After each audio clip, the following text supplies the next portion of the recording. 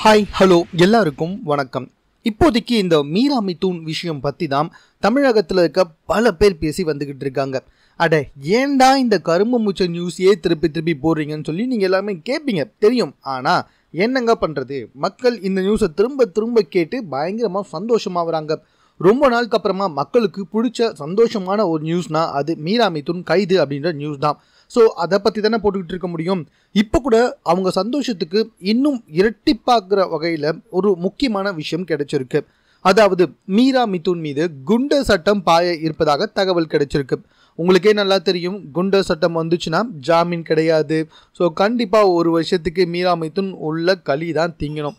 சரி எதுக்காக குண்டு சட்டம் போடணும் அப்படின்னு சொல்லி கேட்டிங்கன்னா உங்களுக்கே நல்லா தெரியும். ஸோ பட்டியல் இனத்தவரை மீரா மீதுன் அவதூறாக பேசியது கொச்சைப்படுத்தி பேசியது அப்படி இப்படின்னு சொல்லிட்டு அவங்க மேலே கிட்டத்தட்ட வந்துட்டு ஒரு ஏழு பிரிவுகளின் கீழ் வழக்கு தொடுக்கப்பட்டிருக்கு.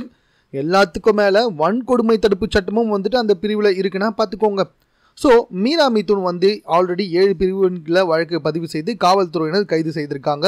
இதுக்கு மேலே காவல்துறையை வந்துட்டு அவதூறாக பேசியது. காவல்துறையே வந்துட்டு கைது செய்ய முடியாது அப்படின்னு சொல்லிட்டு வீடியோ வெளியிட்டது. கேரள மாநிலத்தில் வந்துட்டு ஆழப்புழாவில் தான் வந்துட்டு இவங்க மறைந்திருந்திருக்காங்க.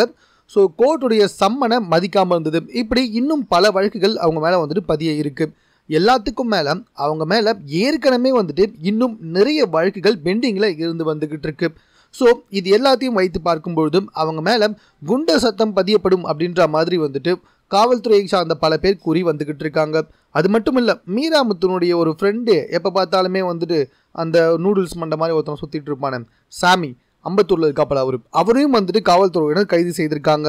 என்ன காரணத்துக்காக அப்படின்னு சொல்லி பார்த்தீங்கன்னா மீராமித்துன் வீடியோ போடுறதுக்கு முக்கிய பங்கே வந்துட்டு இவருக்கு தான் இருக்காம். ஸோ மீரா மிதுன் வந்துட்டு வீடியோ வெளியிட உடந்தையாக இருந்ததே இந்த சாம் அபிஷேக் தான் அப்படின்ற மாதிரி ஒரு காரணத்தை சொல்லி காவல்துறையினர் அவரையும் வந்துட்டு கைது செய்திருக்காங்க. இவரும் வந்துட்டு மீரா கூட தான் வந்துட்டு கேரளாவில் இருக்க ஆழப்புழாவில் பதுங்கி வந்திருக்காரு. ஸோ ரெண்டு பேரையுமே தொக்கா தூக்கிட்டு வந்திருக்காங்க. அது மட்டும் இல்லை தூக்கிட்டு வரும்போது மீரா மிதுன் வந்துட்டு என்னெல்லாம் சொல்லி வந்திருக்காங்க தெரியுமா? ப்ரெஸ் மீட்டில் நான் இருபத்தி நாலு மணி நேரமாக எனக்கு காவல்துறையினர் சாப்பாடே கொடுக்கல. என் கையை உடைச்சிட்டாங்க. நான் கண்டிப்பாக திரும்பி வருவேன். அப்படி இப்படின்ட்டு பயங்கரமாக வந்துட்டு சொல்லிட்டு போயிட்டு இருக்காங்க. ஆக்சுவலாக ஒரே ஒருத்தர் அரெஸ்ட் ஆனதுக்கு தமிழகத்தில் இருக்க அனைத்து தரத்து மக்களும் வந்துட்டு சந்தோஷப்படுறாங்கன்னா அது இந்த மீராமுத்தின கைடாக மட்டும்தாங்க இருக்கும். ஸோ எது எப்படியோ கண்டிப்பாக இவங்க மேலே குண்டர் சட்டம் பதியப்பட தான் போதும் இவங்களுக்கு ஜாமீனும் கிடைக்க போகிறதே கிடையாது.